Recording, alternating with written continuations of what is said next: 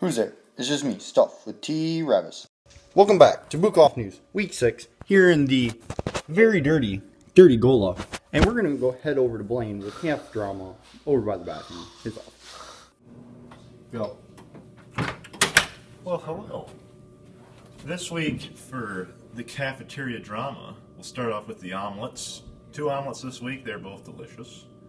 Also, I believe a cafeteria worker watched last week's ca- cafeteria drama. The chicken tenders were way better. there was more of them. Some people got four, and they were a lot crispier, so they were good. Also, according to my polls, the approval rating for the new juice machine is way up. Everybody has loved it, and apparently the water is better than the water in the other machines. And finally, what is with the depot and the pink lemonade syrup? it seems like anytime you go there, you never know if it's going to be pink lemonade or you're just going to get water. But that's all I got for you today. Heading on over to Adam. Thank you, Blaine. Wait, sec. We got quote of the week today, and before I begin, I just want to let you in a little trade secret. You see this notebook right here? It's supposed to be my calculus notebook, but lately it's just turned into a giant quote notebook. Because in the math department, we got a guy over there that's just a quote machine, so I have like a half a page just filled with quotes. So I'll just pick one out for you today. Here's what we got. Knowledge is a thing that walks with you, lives with you, and sleeps with you. so if you're ever taking a test and you forget everything, maybe it's because your knowledge slept in while you got up. Thank you for listening to my quote. Thank you, Adam. I gotta get it out. I gotta get All right, Parker, what do you got for us this week? All right. Well, welcome back. Um, first things first. The 57 on Heinz ketchup bottles represents the number of variety of pickles the company had. he drops his pencil. Very, very important. Uh, another fact: President Kennedy, Kennedy was the fastest random speaker in the world, with upwards of 350 words per minute. Uh, also, third third fact: karaoke means empty orchestra in Japanese.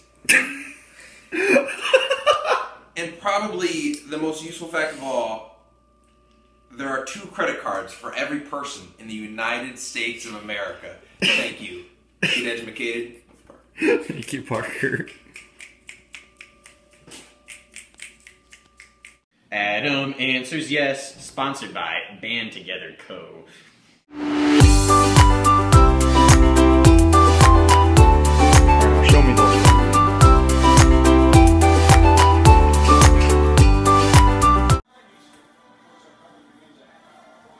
Yes. All right, what do we got for Adam predicts future slash sleep talk this week, David? All right, so I'm not gonna lie, I'm a little upset. We did not discover any gold this week. it might be because we didn't go mining for gold. Um, I don't know. Anyways, very, very, very light week from Adam this week. Unfortunately for you, all of our lovely viewers at home, I almost captured Adam's sleep talk on camera this week. So Wednesday night, he uh, he started sleep talking, just a bunch of gibberish, and I was like, "Hey, sleep talking." I'll get my phone. Got my phone, tried to record him, and he quit. And I was like, "Well, that kind of sucks." Put my phone back down, and rolled back over.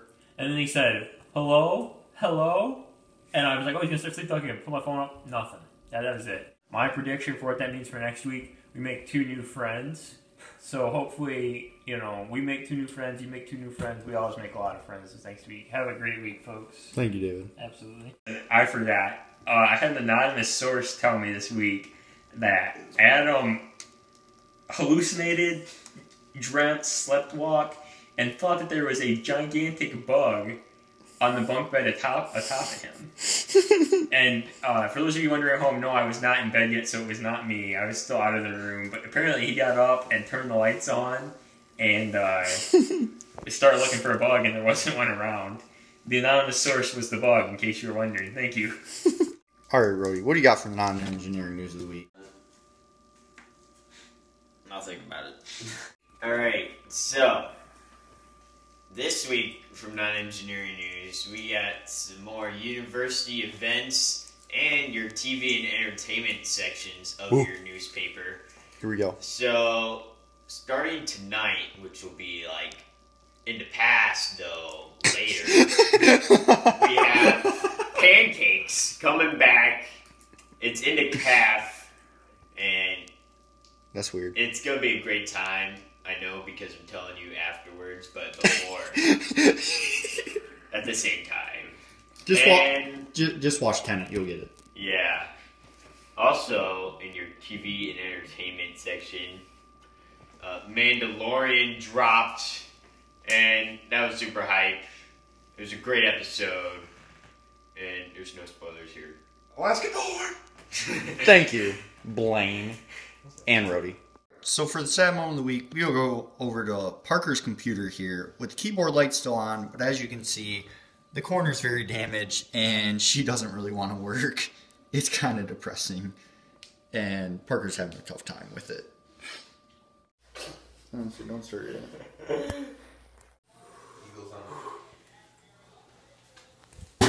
Oh, Eagles on. Oh, my favorite second. Five. You're good. Whoa! That was good. The old man. David, David from the backside. Oh, oh. David with six pins. Oh, Parker with a strong start.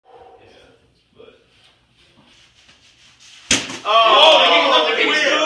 oh Parker misses, gets five. This is for you, Harambe. Go to the wall. Oh, Adam gets one. Through the back. Oh! oh! Adam ends up getting five, Five. a common number. Oh! oh. Two remain. Seven, ten. Oh, he oh, got one. One left. Get some. Oh, Rody! Rody with nine, looking for the spare. Oh, oh that's tough, Rody. Not bad, David. Not bad. Oh! oh! David just misses the spare. Oh, that's pretty good, Parker. Right in the head, man. He got Yeah, throw it to you. Parker for the spare. Oh my gosh. Nine like everybody else. Oh, pretty good. Let's see it, Adam. Can you get the spare? I'm rubbing it for Adams. Good luck. Oh my gosh. The man was wrong. Oh my goodness! That was Gotta get the spare. Oh. Serious. Travis. You just won the first ever Bukoff Bowling with Meatballs. What do you have to say? Oh, thank you, Blaine. Um, I just want to thank all our loyal fans, all 29 subscribers, and I hope we get more from this video. Hey, That's all I have. Absolutely. Mr. Quackers is here. You've done the ceremony on Mr. Quackers trophy and a game ball. Congratulations, Travis. Thank you for inventing this game, whoever invented it. I'm not sure. This is me. It was Justin Rody. Check him out. Meatball. Real Band winners together win. go. Picking up. Thanks, folks. And that's all for stuff with T Ravis. Hope you like the video and subscribe. And yeah, that's it.